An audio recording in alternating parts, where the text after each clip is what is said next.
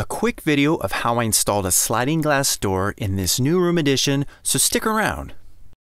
So my first step was to recruit some friends. With them handling the heavy door, I thoroughly applied construction adhesive in the recessed cavity I formed in the concrete for the door. Then we carefully placed the door into the opening, made adjustments to get it flush with the wall sheathing, and then drilled the first screws through the door frame and into the wood studs. We checked for square by measuring diagonals and made adjustments as needed.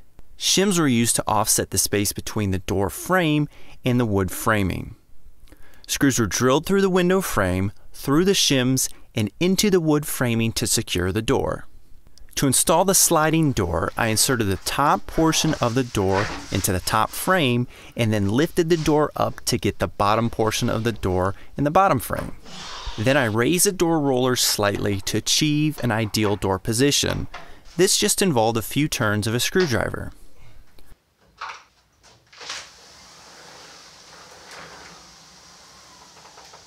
To weather seal, I then wrapped the perimeter with window tape.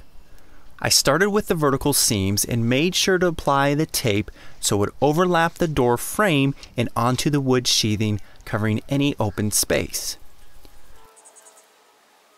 I then applied the tape over the top of the window, overlapping the vertical pieces of tape.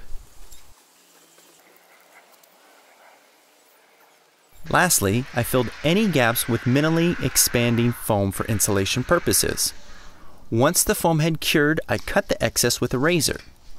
And that is it. Having built an accurate framed opening made installing the sliding door pretty straightforward.